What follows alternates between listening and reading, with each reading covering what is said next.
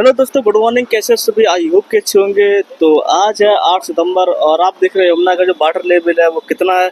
और अभी मैं हूँ अंबेडकर ब्रिज पर। ये देखिए, सामने यमुना का रोड है और सामने देख रहे हैं बेलगंज है। और यहीं आप मेरी तरफ़ देखेंगे तो ये है यहाँ पर एतमाउद्दौला और ये रहा अंबेडकर ब्रिज और हमारे पीछे स्ट्रेची ब्रिज।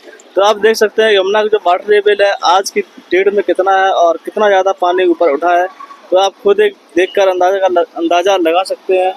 और बारिश भी हो रही है और इससे आपको देख रहे हैं कि यहाँ पर जो गंदा पानी है वो साफ़ नज़र आ रहा है, देखिए। और इस वजह से यमुना का पानी जो है वो बढ़ रहा है तो एक ये अंदाज़ा लग सकता है कि पानी छोड़ा जा रहा है तो एक बाढ़ की संभावना है वो अभी भी बनी हुई है आगरा में, क्योंकि जो यमुना का जो पानी है वो हमारे किनारों को टच कर रहा है। ये देखिए, किनारा कितना बचा थोड़ा।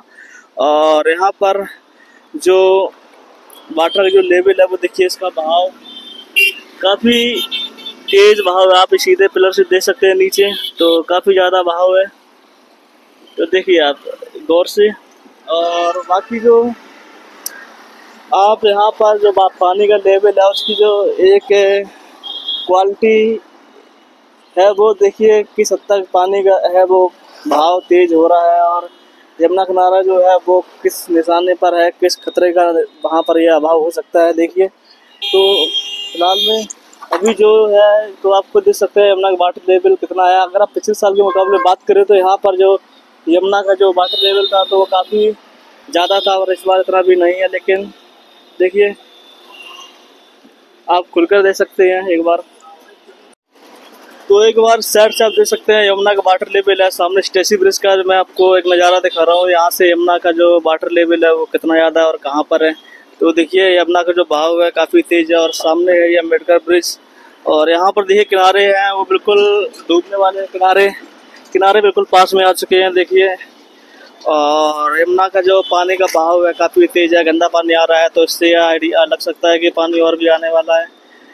तो देखिए आप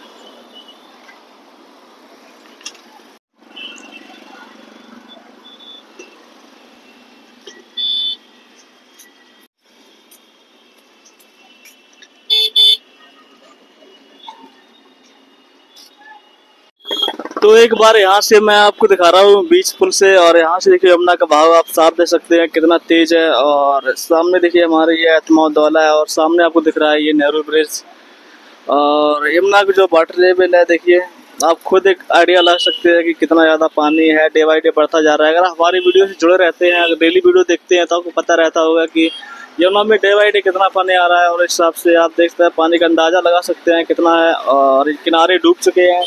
तो एक उम्मीद है बाढ़ भी आ सकती है, क्योंकि नाले शहर का निज़ाम होने लगे तो पानी बढ़े पानी वापसी करेगा शहर के अंदर और एक यमुना किनारा साइड है, वो तो सकता उसको नुकसान हो सकता है। और बाकी फ़िलहाल में आज की वीडियो में इतना ही है और मिलते हैं नई वीडियो के साथ और इस वीडियो को लाइक कीजिए शेयर कीजिए तो बने रहिए हमारे चैनल ब्लॉग वाई ईजे